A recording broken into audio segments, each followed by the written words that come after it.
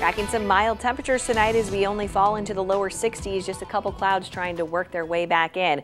And as we get into tomorrow, I'm tracking a little bit better chance to see a couple spotty showers and storms Otherwise, it's going to be a warmer and a little bit more humid day as temperatures climb into the mid 80s.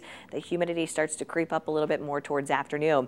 Here's a look at the ABC 17 storm track radar tonight. We are keeping an eye on a couple showers and storms that have developed just to the south of the I-44 corridor. Some of this could start drifting into areas along I-44, including Phelps and Pulaski counties over the next few hours. You'll see that here on the future track. That could happen as soon as around 10 or 11 o'clock, but not expecting too much of that to make its way north tomorrow into the morning.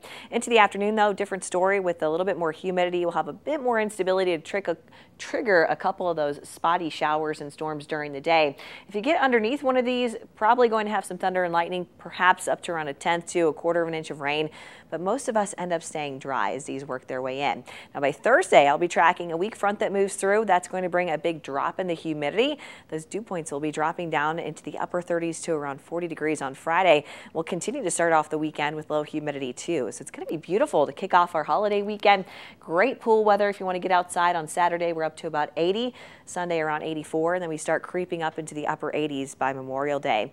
Here's the ABC 17 Storm Track 7-day forecast. We are tracking a nice dry stretch after tomorrow. Most of the weekend looking quiet, but as we head into next week, we're getting back into the upper 80s.